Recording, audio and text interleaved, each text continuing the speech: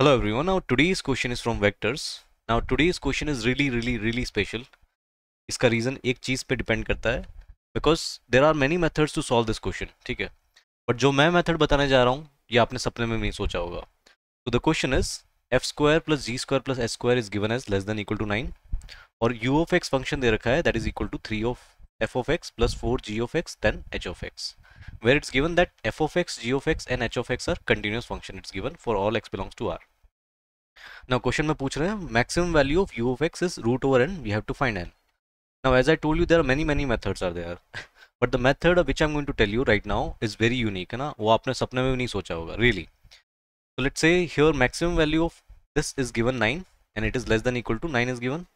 So let's say I'm taking a vector v1 is equal to first vector I'm taking like this 3i cap plus 4j cap plus 10k cap reason मैं बताऊँगा आपको मैं क्यों vector से कर रहा हूँ ठीक है now v2 vector I am taking from my side एक और वेक्टर ले लेते हैं that is f of x i cap plus g of x k cap plus h of x j cap and h of x k cap here now if you take the dot product of v1 v2 the reason is I've taken these two is if you take the dot product of v1 v2 this is equal to let's take the dot product 3 times f of x plus 4 times g of x plus 10 times h of x we'll get this next step is v1 dot v2 now if you check this 3 f of x 4 g of x 10 h of x ये किसके equal है ये equal है u of x के equal है so I'm going to write u of x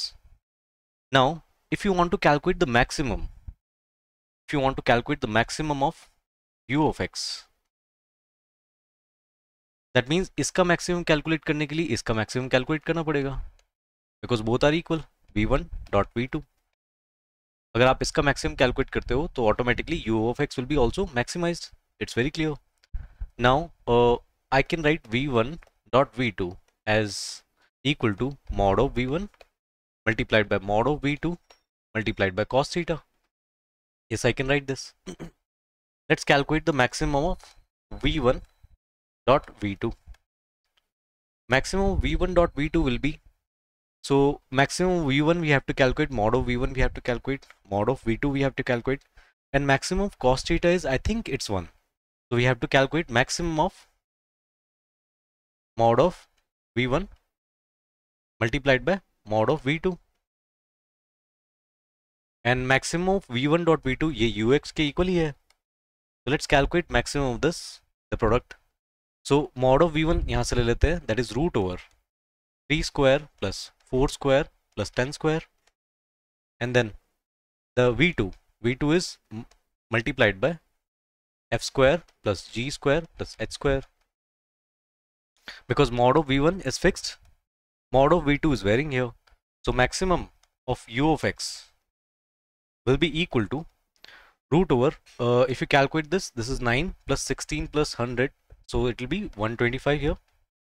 And then we have to find the maximum of root over f square g square plus h square. Now it's given in the question that f square g square plus h square is always lesser than equal to 9 its maximum value is equal to obviously 9 so root over 9 here. So if you multiply this root over 125 with root over 9 you will get this as uh, 1125 here so our maximum value of u of x is root over 1125. Now before ending this lecture, I have a request from all of you students, please like this video because the algorithm works like this. If you like this video, YouTube is going to show to more students. If more students are going to like, it's going to show to more more students. Okay. So before the exam, if somebody sees this and the same concept came in JEE and if they were able to do it after seeing this video, I'll be very happy.